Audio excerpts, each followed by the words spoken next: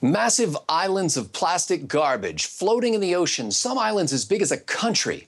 100 million tons of plastic garbage choking marine animals, killing one and a half million of them each year. That's the story that got so many of us to start carrying our own reusable bags to Walmart and to the grocery store. Now, the same scientist who told us this story has a new story. Will it change our behavior again? I'm PJTV's Scott Ott, joined now by Stephen Green and Bill Whittle. And men, 100 million tons of floating plastic clotting the ocean in country-sized islands actually inspired 100 cities in California to ban single-use plastic bags and countless millions of us to BYOB to the grocery store. But now, Andres Cozar of the University of Cadiz in Spain, the same scientist who made the 100 million ton estimate, did another study and Professor Cozar revised that figure downward by a factor of 14,285. He now says, would you believe 7,000 tons? Or 35,000 at the most, not 100 million tons. But wait, there's more. According to, the, to sfgate.com, Cozar's team didn't find country-sized islands of plastic bags strangling baby birds and sea turtles. It found microplastics. What people think of as a dump doesn't look like floating junk. Instead, ocean current convergent zones are swirling with flecks of plastic like, like a snow globe half a minute after shaking, with considerably less plastic trash than expected. You see, the plastic bags and other petroleum-based detritus have apparently done what they were designed to do. They biodegraded. But the Surfrider Foundation, among others, wants us to think that all plastic items last forever, and they still cite the debunked 100 million ton figure on their website as they raise money to increase public awareness. Now, Stephen Green, people are slobs, and they throw too much oh. trash oh. on the ground and in the water. If, if these environmental groups don't exaggerate the threat, they'll never get our attention. So what's the harm in overestimating oceanic garbage, even by 14,285 times, if it gets people to take action to clean up the oceans, which do, in fact, have some garbage in them? What's wrong? Yeah, uh, you know, I, I, love public awareness. I, I love the idea that people can be made aware of problems that don't exist by people patting their own pockets on uh, on these kind of scare tactics. No, this is this is. This, this, I'm sorry, I can't even be obnoxious about this. This is this is really good news. We should be celebrating this. Apparently, we do still have a problem, but it's a much smaller problem. It looks like it might be a manageable problem, and these plastics aren't clogging up our, our oceans in a in a thing the size of Bulgaria.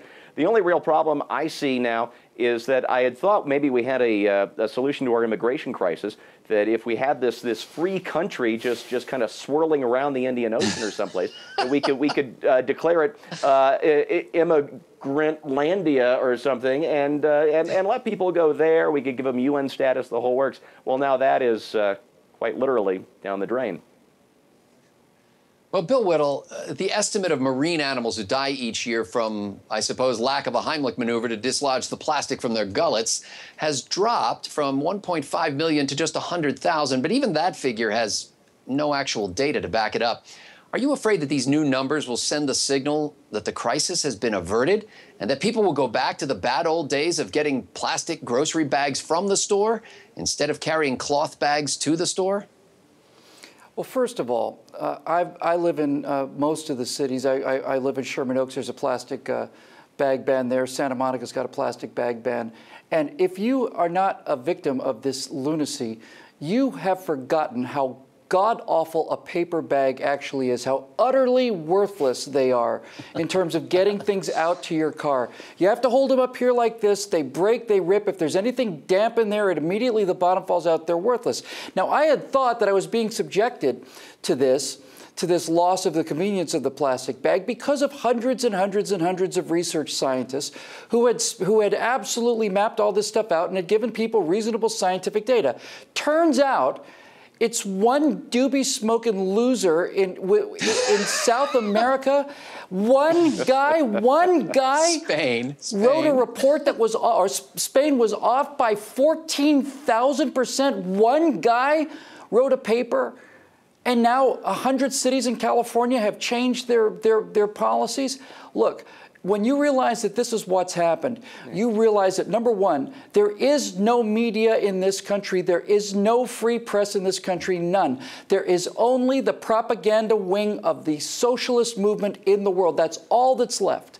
The idea that one guy could write one paper and have this kind of fallout and have this belief be promulgated throughout the world is insane to me. Secondly, it turns out that yes, this is a completely overblown issue like all the other overblown issues. And finally, the thing I'd like to say to those liberals out there who think we're just a bunch of heartless idiots if it turned out the data did in fact say that the Earth is going to catch fire through human activity, then I'd be all about curbing our carbon emissions. The fact is, it doesn't say that at all. They can't make it say that. They have to lie about it. They have to manipulate the data. They have to just plain lie. If it turned out that healthcare was free, I'd be in favor of free healthcare. So all of the stuff that's used to demonize conservatives, it turns out, Scotty, it's just not true. And the final thing I'll say about this plastic bag thing and that ad of that sperm whale basically diving into a into a just a, a living playground of, of plastic is this. We get accused of things for which there is no evidence. This happened when the Tea Party got started. They were accused of racism, about how racist the Tea Party is. And because there was no, no evidence of racism in the Tea Party, leftists made racist banners and signs and took them to Tea Party events to prove a fact that didn't exist in the first place. That's how desperate these people are. It's how evil, evil, evil these people really are. Well, the worst casualty in this story is not our formerly pristine oceans or their formerly living marine fauna, but the erstwhile credible human pursuit called science. Yep.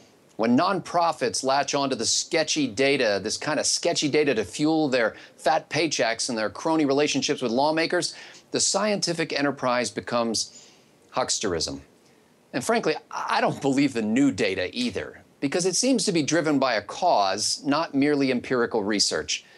Computer programmers have a name for the kind of information we get from this kind of process garbage in, garbage out. For Bill Whittle, Stephen Green, and the entire trifecta crew at pjtv.com, I'm Scott Ott.